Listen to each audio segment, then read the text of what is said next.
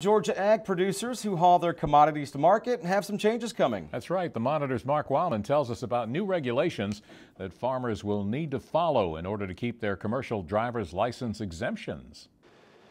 Farmers are accustomed to being exempt from having to have a CDL or commercial driver's license. As long as they're hauling their agricultural products to or from, to or from a market or other agricultural uh, inputs that they're using on their farm, they're exempt from CDL regulation. With the passage of federal legislation entitled the Moving Ahead for Progress in the 21st Century, or MAP 21, farmers and farm helpers who have traditionally been exempt from having a CDL while operating within 150 miles from the farm now have their limits broadened. The, the federal regulation that passed last summer uh, broadened that exemption to cover the entire state and 150 miles into a neighboring state or 150 miles from that farmer's farm uh, into another state. And that's a, that's a very positive thing for us. Usually the exemption is automatic and requires no action on the producer's part. But now that has changed. The difference is that farmers now have to apply for that exemption. In years past, the exemption was automatic. Now they're going to have to go online and apply for it. And that's what we want farmers to know about. Well, if you have any questions, you can call us here at the Georgia Farm Bureau Legislative Department. Uh, and to register, you can go to uh, www.gfb.org. That's gfb.org.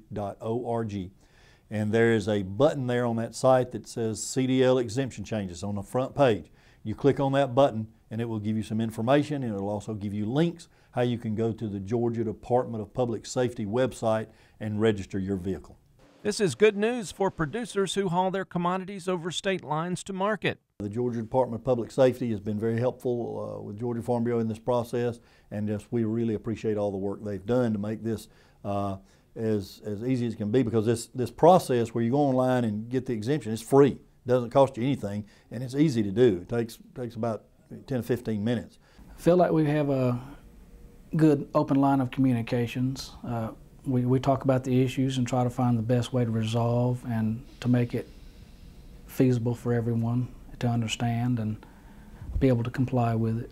It may be some extra effort on producers' part, but in the end, it will ensure agriculture keeps a very valuable benefit. You know, there's a lot of farm trucks on the road. They're seasonal, they're, they're there. Uh, but yes, we have a lot of farm trucks, and, and uh, we'd encourage all farmers, if, if, they have trucks and vehicles that fall into these categories, they, they need to uh, register for the exemption to continue. In Macon, I'm Mark Wildman for the Georgia Farm Monitor.